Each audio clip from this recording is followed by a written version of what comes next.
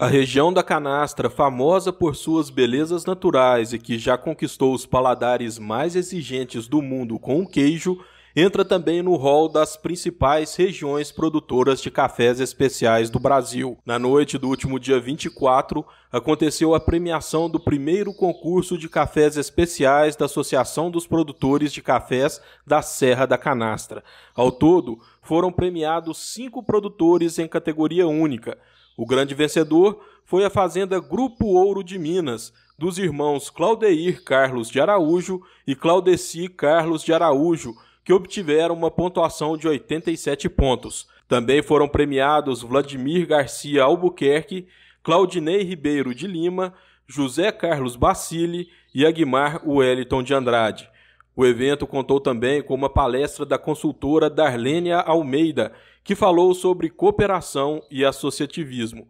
Esteve presente também o professor da Universidade Federal de Lavras, Flávio Borém, que há quatro anos desenvolve um importante trabalho técnico de caracterização dos cafés da região e consultoria em pós-colheita e qualidade do café aos produtores associados.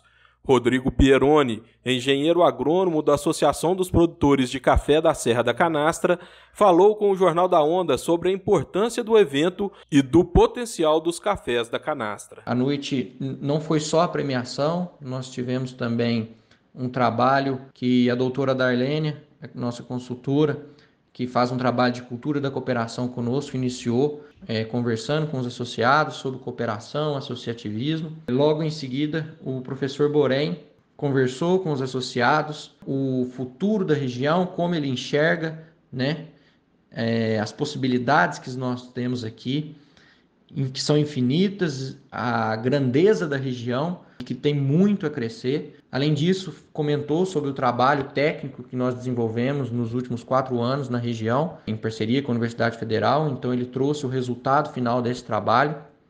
E após esse momento, tivemos é, a premiação em si e o conhecimento, né, o reconhecimento de que aqui na região nós temos sim cafés espetaculares que pode concorrer e ganhar é, prêmios nacionais com outros cafés de outras regiões, é, sem dúvida nenhuma. Para encerrar, José Carlos Bacilli, presidente da associação, falou da importância desse trabalho para os cafeicultores. A associação tem um papel extremamente importante, porque ela reúne os produtores, ela está organizando né, os produtores para que eles possam ter um café de melhor qualidade e ela tem um papel de incentivar os produtores, de motivar os produtores e também de capacitar os produtores para isso.